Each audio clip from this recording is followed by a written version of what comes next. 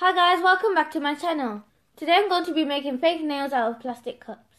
But before we do that, I'm going to give a quick shout out to Richards Amy. If you want to be featured in my next shout out, comment something down below. By the way, thank you for commenting. Anyway, I'm just beginning with some basic nail prep. I applied hand sanitizer to my hands, pushed back my cuticles, and lightly buffed the surface of my nails. This will help the nails last longer. Next I'm applying some base coat to act as a protective layer.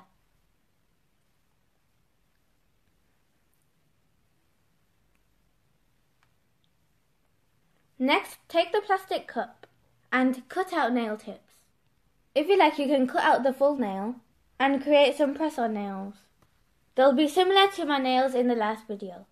I'll leave a link to that down below.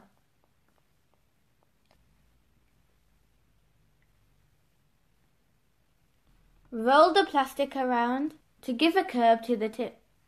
Now I'm attaching the tips using nail glue.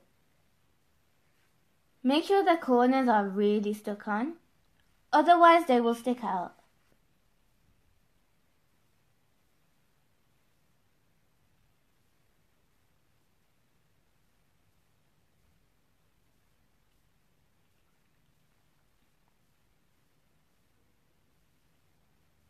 Now I'm doing the cornstarch glue method to build up the nail and give it that acrylic look.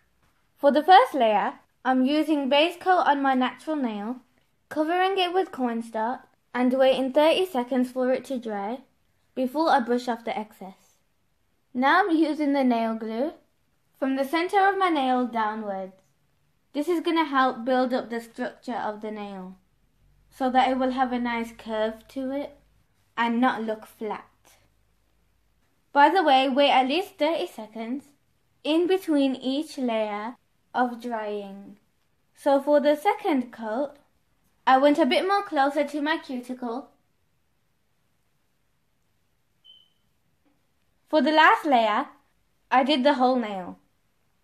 If you want, you can just build up on the tips for a more natural look.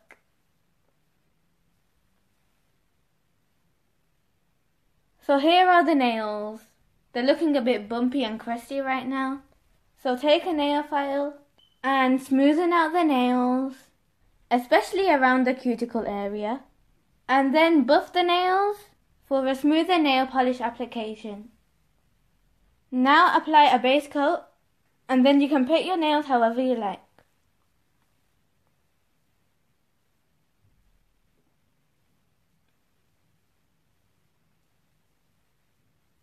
So I painted them and they looked okay, I guess. And then now I'm going to show you the removal.